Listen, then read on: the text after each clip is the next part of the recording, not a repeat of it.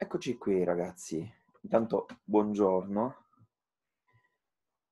L'argomento di cui parleremo oggi è uno dei massimi artisti di tutti i tempi, il grande, unico, straordinario Leonardo da Vinci, di cui da qualche tempo è ricorso un importante anniversario e di cui eh, ci giungono periodicamente notizie quanto a opere ritrovate, come il famoso Cristo Redentore, attualmente ospitato in un museo in Arabia Saudita, poco prima che iniziasse il dramma del Covid, quest'opera, insieme ad altre, era stata mostrata a Parigi in occasione di una mostra memorabile in cui la maggior parte dei dipinti e anche alcuni disegni, alcuni studi altrettanto importanti dei dipinti di Leonardo erano conservati. Sembra una cosa quasi impossibile, non perché le opere di Leonardo siano tante, sono, a parte i disegni, pochissime si contano quasi sulle dita di due mani, ma sono di un tale interesse, di una tale qualità ormai universalmente riconosciuta che chiunque li possieda eh, le considera opere decisamente inamovibili. Eppure ancora si continuano a scoprire, come nel caso eh, di Caravaggio, opere che forse non sono figlie di Leonardo, forse parafrasando la sua famosa metafora, eh, sono nipoti, provengono dalla sua bottega, ma comunque ci restituiscono eh, un, un soffio di quella straordinaria qualità, di quel straordinario vigore eh, stilistico, anche se forse vigore non è la parola più corretta perché eh, l'arte di Leonardo non è un'arte che si impone né per potenza né per forza, è, una, è un'arte leggera, sottile, che ti conquista con la sua naturalezza, come quel caldo vento di primavera che con ogni probabilità inebriò il padre di Leonardo quando Leonardo fu concepito. Leonardo è frutto di un amore primaverile, di un signorotto, possiamo definirlo così, eh, locale, di un signorotto di Vinci, perché lui, che, che ne dica Dan Brown, si chiama Da Vinci perché questo fosse il cognome di suo padre, ma perché Vinci è la sua città natale un paesino toscano non troppo distante da Firenze, dove mh, il padre eh, ancora non uh, aveva un uh, ruolo, una dimensione pubblica, però era comunque uh, figlio, rampollo di una mh, famiglia, bene, di una famiglia di notai. Eh, del resto questa sarà la sua carriera, il suo lavoro più tardi e quando si trasferirà a Firenze. Ora, l'essere un figlio clandestino, poi riconosciuto dal padre, per Leonardo fu una grande benedizione, anche perché il padre aveva tutto l'interesse a, a concepire altri figli a seguito di fruttuosi matrimoni che potessero aiutarlo nella sua scalata sociale. Quindi il giovane Leonardo viene messo da parte, viene affidato alle cure del nonno e dello zio. E queste cure, per quanto premurose possano essere, non hanno niente a che spartire con un'educazione tradizionale, cui egli altrimenti non sarebbe sfuggito L'educazione tradizionale è un'educazione mnemonica, fondata sulla ripetizione, tanti vocaboli da apprendere a memoria, tanti costrutti greci e latini da praticare e ancora tutte le arti del trivio e del quadrivio in cui ammaestrarsi, eh, sempre guardando al faro dei classici, alle loro eh, indiscussa e soprattutto indiscutibile autorità, proprio perché il principio dell'educazione di un giovane da bene in quel tempo era anche eh, l'obbedienza e soprattutto l'obbedienza all'autorità, perché no, eh, pure all'autorità dei maestri, di quei giganti sulle cui spalle faticosamente noi ci aggrappiamo. E quindi eh, il, giovane Leonardo avrebbe dovuto cedere a una miriade di ipse dixit, avrebbe dovuto venir meno a quello che fosse il suo dono più grande, la curiosità. Più avanti Leonardo, questo giovane, che in questo ritratto non ci scruta più da giovane, ma fissa comunque, non si capisce se su noi o sul, o sul vuoto il suo sguardo imperscrutabile, arriverà a dire che la curiosità è la madre della scienza. E ancora la natura, quella natura in cui gli è consentito di trascorrere tantissimo tempo, io me l'immagino mentre costruisce dighe sui, risce- sui ruscelli o viviseziona eh, gli insetti per allenarsi a quello che sarà il suo futuro di costruttore di macchine e di anatomista di prim'ordine, anzi fondatore dell'anatomia, possiamo senza tema di smentita credere che sia stato proprio lui.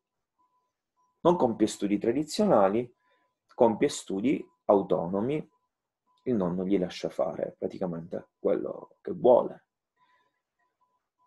Lo fa scrivere anche al contrario, da destra verso sinistra e con lettere rovesciate, di modo che la sua scrittura si possa leggere soltanto eh, allo specchio, gli permette ogni sorta eh, di stranezza e soprattutto quando Leonardo, che cresce come uomo senza lettere, di questo si rammaricherà, eh, arriverà all'età eh, del lavoro, all'età in cui è opportuno per eh, un giovane scegliere eh, una carriera gettare le basi professionali per il suo futuro. A quell'altezza Leonardo potrà entrare in una bottega. Il padre nel frattempo si è trasferito a Firenze, è uno dei notai dei medici, quindi è una persona che ha molti rapporti, molte relazioni, lo, lo raccomanda e fa sì che Leonardo venga accolto nella migliore bottega eh, di Firenze, quella di Andrea del Berrocchio. Una bottega che era una fucina di talenti, pensate che negli anni in cui Leonardo inizia a lavorare là, eh, presso questa bottega lavora pure mh, mm, Botticelli. E presso la bottega del Berrocchio mh, mm, Leonardo apprenderà una miriade di cose, apprenderà l'arte della pittura, apprenderà l'arte della scultura, si interesserà di questioni tecniche che da subito saranno al centro della sua attenzione, al centro eh, del, della, sua, della sua ricerca. Può farlo perché nella bottega del Berrocchio si progettano macchine, si costruiscono armi, insomma, eh, il giovane Leonardo, se vuole fare pratica qui eh, presso questa bottega, è ben servito. Cosa farà Leonardo? Ecco, questa è la sua firma, questa è la casa natale di Vinci, questo è un altro suo ritratto, questo è un disegno eh, giovanile negli anni dell'apprendistato, il vostro libro, se non ricordo male, lo pubblica, è un disegno nuovo e particolarissimo, anche perché quel tratto che era stato tipico di un artista come Botticelli qua viene completamente abbandonato in nome di un trattamento della materia che non è più un eh, trattamento, eh, come dire, cerchiamo... Ah dai, mi sono cancellato. Devo soltanto ecco, ingrandire la mia immagine, perfetto, che non è più un trattamento netto, rigido come quello di Leonardo, bensì un trattamento molto pittorico. Eh, queste sfumature diventeranno col passare degli anni il suo tratto caratteristico. Ma vedete, mentre lui lavora presso la bottega del Berrocchio, finisce anche per collaborare con lui. Finisce per esempio per realizzare un'opera a quattro mani, anche se come vedremo le mani sono un po' di più, con il maestro. Quest'opera, che adesso vi mostro, è il battesimo di Cristo. Eccola qua. Si trova alla Galleria degli Uffizi, rappresenta, come vedete, Cristo al centro, nudo ricoperto da un drappo di stoffa colorato con i piedi immersi in un'acqua liquida, l'effetto è molto bello. Alla sua destra il Battista che col braccio sollevato versa attraverso una ciotola dell'acqua sul suo capo lungo la perpendicolare del dipinto, perpendicolare evidenziata anche dalle mani di Dio Padre, dallo Spirito Santo, rappresentato nell'atto di discendere in forma di colomba attraverso una profusione di raggi, mentre anche altri uccelli inconsapevoli, indifferenti o atterriti da quanto sta accadendo, compiono il loro volo e si allontanano dal cuore della rappresentazione, evidenziato intanto dalla posizione centrale, che è quella tradizionale di Cristo, e poi dai forti risalti, direi quasi scultorei, del Battista, che qui viene rappresentato né più né meno come una statua, potrebbe anche essere eh, una statua del pollaiolo di un maestro rivale, mentre al lato opposto si trova una palma in realtà piuttosto stilizzata. Ecco, vedete, nelle botteghe eh, la realizzazione di un'opera mh, mm, implicava un lavoro di squadra, un lavoro di gruppo. Di solito i più giovani preparavano il fondo, artisti più consapevoli per esempio alcuni credono che Botticelli eh, abbia contribuito alla rappresentazione del Battista, mettono mano all'opera, altri, i più bravi, i più promettenti, eh, sono chiamati mh, mm, a realizzare alcuni dettagli. Non è detto che il capobottega indovini sempre mm, quanto a scelta di collaboratori, oppure può darsi che questi collaboratori siano collaboratori forzati perché in una bottega ci sono tanti lavori da compiere, tante commissioni da svolgere e non sempre pani migliori sono disponibili. Certo è che mh, le mani in alto, la colomba, soprattutto le mani in alto, non sono questo grande capolavoro di pittura e anche la palma sulla sinistra eh, sembra che qualcuno l'abbia copiata dalla palma dei Lego, delle figurine. Viceversa, lo sfondo, le acque, tanto di cappello, lo stesso pure per la figura del Battista. Però ci sono degli altri dettagli, dei particolari che la critica tradizionalmente attribuisce al grande Leonardo.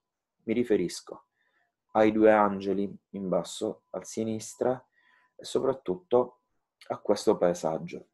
Ricordate il paesaggio su cui ci siamo soffermati prima, quella veduta disegnata sulla riva dell'Arno? Io mi immagino Leonardo col suo taccuino eh, seduto sulla cima di un colle eh, intento ad osservare e a, e a, trascrivere ciò che lo sguardo eh, gli suggerisce attraverso un contatto, una presa diretta con la natura che è già mh, fortissima, potente. Ecco, anche questo paesaggio è realizzato allo stesso modo. Vedete come le linee sono estremamente diverse, quasi non ci sono.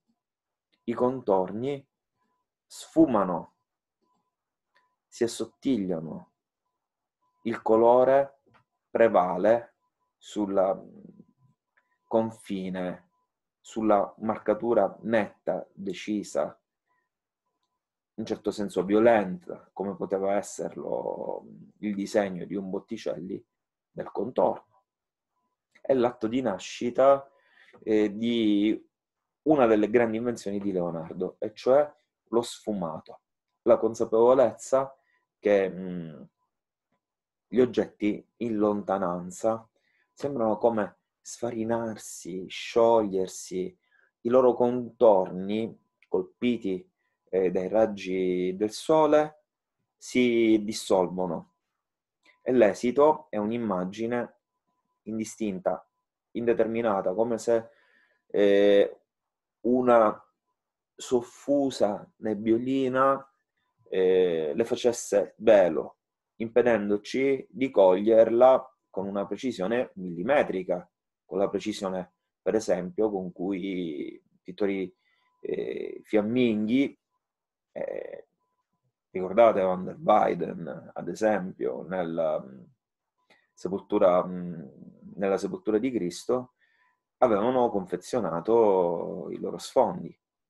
Ecco no, Leonardo non si basa sull'invenzione e sulla ricostruzione intellettuale, si basa su ciò che i suoi sensi gli suggeriscono.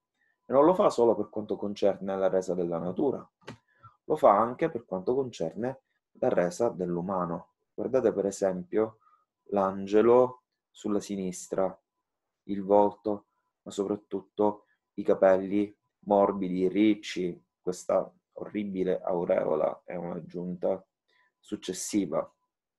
Vedete come eh, Leonardo, perché la critica attribuisce con certezza alla mano eh, di Leonardo, faccia vivere un particolare di di un dipinto con una carica, con un'intensità tale che in un certo senso arriva quasi a destabilizzare l'opera, spostando il centro eh, di attenzione, quella verticale su cui, conce- con, su cui, si concentrano tutte le linee, in basso sulla sinistra, nel volto di quest'angelo che guarda, che osserva, e nel paesaggio che slontana lungo la linea dell'orizzonte. infatti Vasari racconta che quando Verrocchio vide quest'opera eh, non ne volle più sapere di dipingere, Com- si convinse che il discepolo aveva definitivamente eh, superato il maestro e quindi decide di dedicarsi esclusivamente alla scultura. A quanto pare anche Leonardo si dedica alla scultura, però mh, ci addentriamo su un territorio mh, impervio, un territorio che non ci offre testimonianze certe, quindi molto volentieri. Eh, seguiamo l'Argan che di Leonardo scultore si occupa cursoriamente. E solo in relazione agli anni milanesi, agli anni lombardi, e procediamo ad una mh, disamina delle prime opere dell'artista. Per esempio, le tante Madonne col bambino, come la Madonna Dreyfus, oppure la Madonna del Garofano, la Madonna Benoit, per esempio. Ecco, io non riesco a trovare con facilità le loro immagini, però questa è famosissima, eh, la Madonna del Garofano, lo si capisce perché tiene un garofano tra le dita, è un particolare della Madonna del Garofano, con un loggiato dietro e un paesaggio in cui c'è già tutto Leonardo. Guardate il volto, gli occhi socchiusi, il modo in cui guarda il bambino, purtroppo, ecco, i dettagli ce lo, ce lo restituiscono. Si vede che Leonardo sta iniziando a guardare alla figura non più, mh, mm, né, per, non più limitandosi a renderne la forma fisica, l'aspetto, quanto piuttosto concentrandosi sulla sua interiorità. Ecco, opere come, come questa, come la Madonna del Garofano, o come quest'altra che vi mostro, il ritratto di Ginevra Benji, eh, ci, most- eh, ci fanno comprendere che l'artista è già assolutamente padrone del suo mezzo. Per quanto riguarda questo dipinto, che si trova in America, in un museo. Purtroppo è un dipinto incompleto, perché può darsi che a seguito di un danneggiamento, di un'usura, ma in ogni caso la parte inferiore dell'opera è stata tagliata. Il dipinto è stato raccorciato, rimpicciolito. Ma mh, quello che noi vediamo ci riconduce con nettezza a, nost- a una nostra vecchia conoscenza. Ricordate la dama col mazzolino di Verrocchio? Il soggetto è lo stesso, quindi la dama col mazzolino è il ritratto di Ginevra Benji. La dama col mazzolino stringeva le mani e nelle mani teneva un piccolo mazzo di fiori e in quel gesto di stringere le mani si concentrava tutta la sua bellezza e tutta la sua straordinaria qualità espressiva.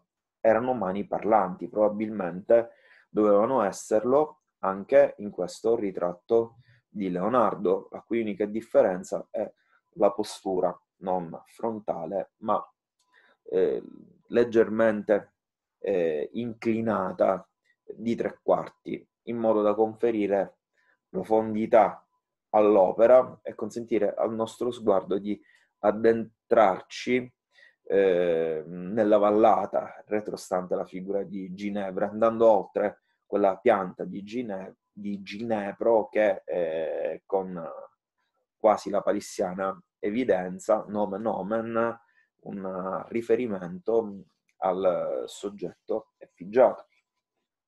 Però poi per qualche anno dopo aver realizzato quest'opera, Leonardo non lavora. Forse perché dentro i suoi tanti interessi continuano a macinare, a, muo- a, a macinare, a, a lievitare.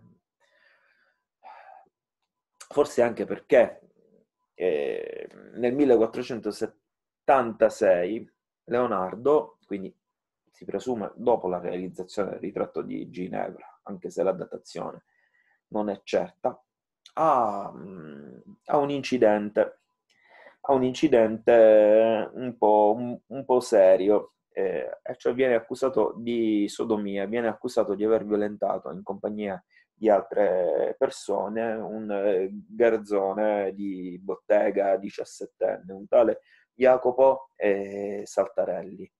Ora, non che l'omosessualità a Firenze fosse particolarmente condannata, pensate che in Europa l'omosessualità maschile era definita il mal fiorentino, però se si veniva scoperti erano guai seri, la pena era la morte.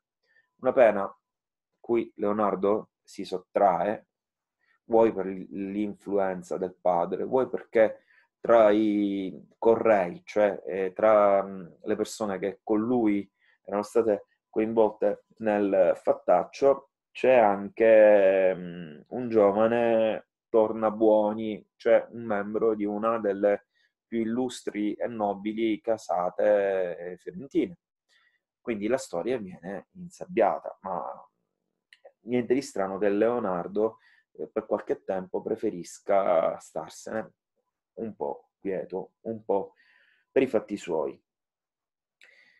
Continua, mh, continuerà poi, questo è il retro di quell'opera straordinaria, ecco, questa è una ricostruzione ipotetica di come avrebbe potuto essere il ritratto di Ginevra Benci, una riproduzione del paesaggio, però noi non possiamo parlare solo del ritratto di Ginevra Benci, ci sono altre opere come ad esempio la Madonna Benoit, di cui questo è un particolare, questa è l'opera nella sua interezza.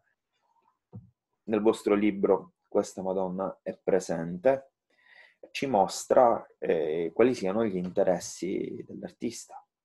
Ecco, se per esempio un artista come Botticelli aveva rappresentato tante Madonne col bambino, voi capite che, eh, ecco, cosa interessava a Botticelli delle sue Madonne col bambino? Interessava la bellezza delle figure femminili, era, se possibile, ancora più sensuale del suo maestro Filippo Lippi.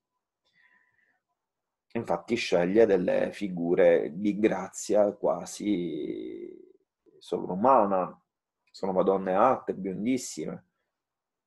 Madonne di Leonardo sembrano popolane, sembrano della stessa classe sociale di appartenenza della madre, della madre, la madre contadina che lo allattò nonostante lui fosse stato riconosciuto eh, dal padre per cinque anni, ma che poi dovette salutare, lasciare. E di fatto nelle Madonne col bambino di Leonardo noi troviamo una grande tenerezza, ma troviamo anche un interesse alla resa di aspetti comportamentali che per esempio Botticelli non c'è, Botticelli interessa la bellezza, la grazia, eh, il nitore squillante della figura. Immagine di Leonardo è un bratile, buia, ma un buio riscaldato dall'affetto, dal gioco. Guardate, la, il bambino sta giocando con un fiorellino che la madre gli mostra, guardate, l'attenzione, l'intensità dello sguardo, per poi magari sottrarglielo, sottrarglielo, ridarglielo di nuovo, accompagnando questo gesto eh, a una canzone o a dei trilli, a, eh, alle parole scherzose tipiche delle madri quando, quando si rivolgono affettuosamente ai loro figli. E quindi Leonardo si sta interessando a una dimensione intima, privata, eh, che rappresenta un po' un territorio per l'arte nuovo, un nuovo mondo, un mondo ancora tutto da esplorare. Questo però lo vedremo nella prossima lezione. Vi saluto ragazzi, a presto.